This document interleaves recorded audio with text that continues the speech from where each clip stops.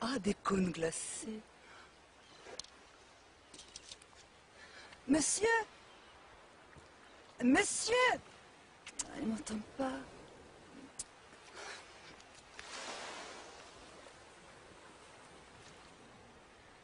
Suzanne, tu me prêtes ta pelle, s'il te plaît? Merci.